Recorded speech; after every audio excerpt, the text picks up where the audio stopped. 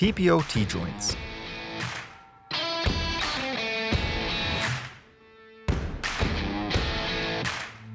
A T-joint is the intersection of two seams, or whenever there are three layers of reinforced TPO membrane. T-joint patches are recommended, but not required on 45 mil membrane. T-joints are required on all 60 and 80 mil membranes and on all 20 year or longer warranties. There are two types of T-joints on end laps, which we call upper and lower T-joints. The upper T-joint occurs on the upside slope of an end lap, when the seams are shingled to shed water. The lower T-joint would be on the downslope side of an end lap.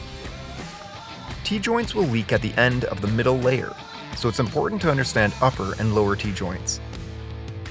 An upper T-joint is when the edge of the middle layer is exposed on the edge of the seam, while a lower T-joint has the edge of the middle layer hidden. T-joint patches are recommended, but not required on 45 mil membrane.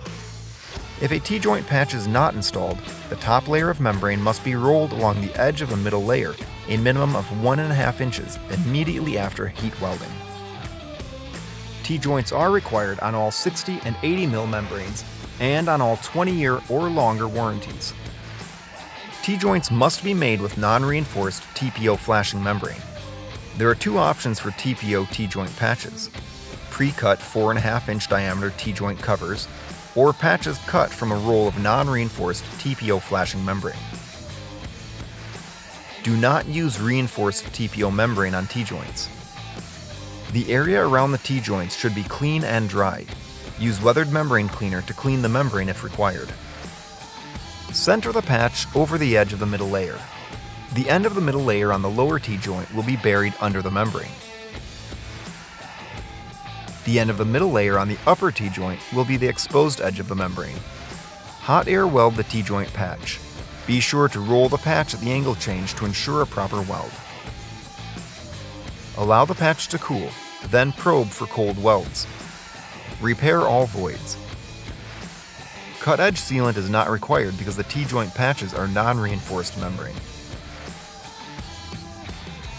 Things to remember. T-joints are recommended, but not required on 45 mil membrane. T-joints are required on all 60 and 80 mil membranes and on all 20 year or longer warranties. Only use non-reinforced TPO flashing membrane for T-joint patches.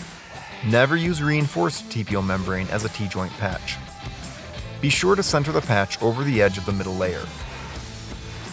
Cut edge sealant is not required on T-joint patches because they are non-reinforced membrane.